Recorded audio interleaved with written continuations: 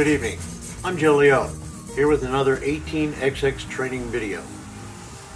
Attached to my copy of 1848 were three brand new private companies for 1846. These new private companies should give a boost to the C&O Railroad. There are actually two new companies and one reprinted or reworded private company. The Meatpacking Company is one of the original privates. The wording has been changed at the end of the statement so that it adds income to the company's routes, not all routes. The first new private is Boomtown. The owning corporation may place a $20 token in Cincinnati to add $20 to all of its routes run to this location. Little Miami is our second new private. If no track exists from Cincinnati to Dayton, the owning corporation may lay or upgrade one extra tile in each of these hexes that adds connecting track. These are zero cost tiles.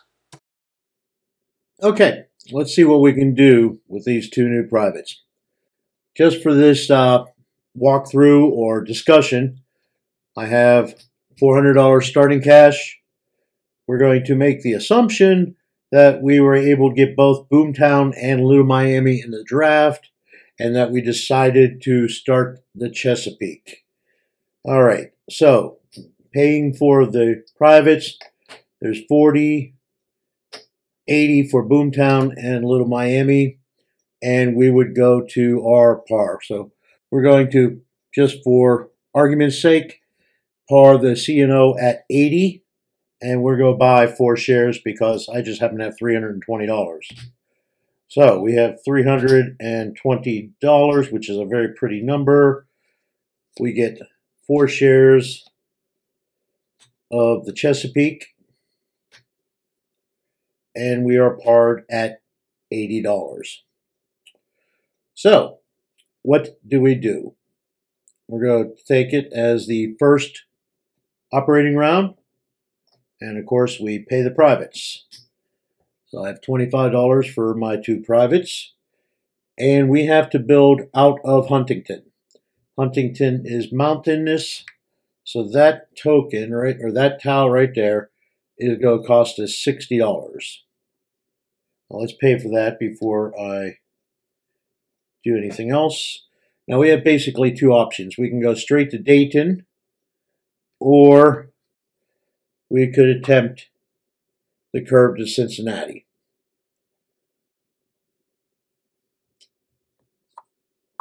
We're going to try the straight first. And of course, we're going to need some additional money. So let's go ahead and issue three shares of Chesapeake for an additional $210. So there's 100, 200, and $10. All right, we already paid for the track, and we fall back because we don't, uh, we need to buy a train. So, parring 80, it's going to be hard pressed to say how many twos are going to be left. So, for this discussion, or we're going to buy a two for 80, and we're going to buy a four for 180. That seems like a nice middle of the road so 260, there's 100, 260 out. So we have our trains, we fall back, and then we would go to the second OR. So we're going to get our $25 for our privates. And Chesapeake is going to buy in the Little Miami. So it pays us $40. Gets a little Miami. And then we're going to go, let's see, we'll do a Sharp City in Dayton. And a straight through Cincinnati.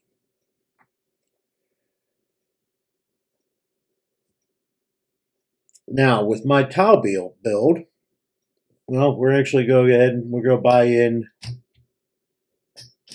Boomtown for 40. and put the token there. Then we can spend 20 to upgrade Cincinnati.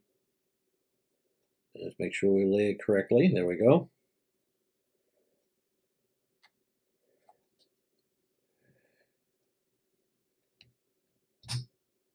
Pay 80. Get a token there. It would be nice if I would have, well, let's go ahead. Instead of three, let's do four, because that would give me another $70 last OR. And so now I can spend 60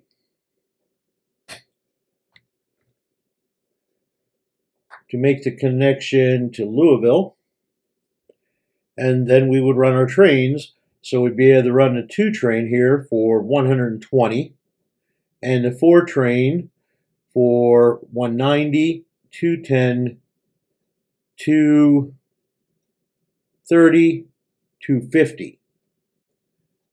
250, it's not quite enough for double jump or a half pay and double jump, but we could half pay it. So 50, 120, 190, 210, 230, 250. That'd be uh, half paying that would be 13 per share. So 13, 26, 52. I'm going to assume we have two dollars there because I want to dig it out. And 52 to the company.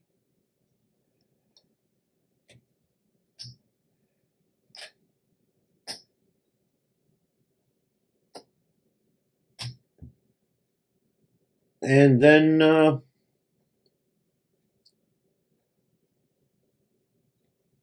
we got $90 in the company. We get our single jump from our half pay, and the company would also get another 120.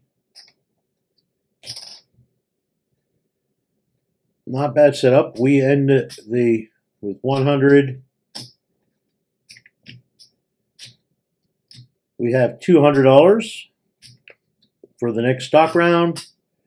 Company has plenty of cash to upgrades. Granted, there's some shares in the market, but it's not a bad start. What else could you do with it, do you think? How could Big Four use it? I could see that maybe using the O and I, we can get to Cleveland pretty quickly. All in all, I kind of like that for uh, C&O. C&O, it's definitely got a, a boost from this expansion.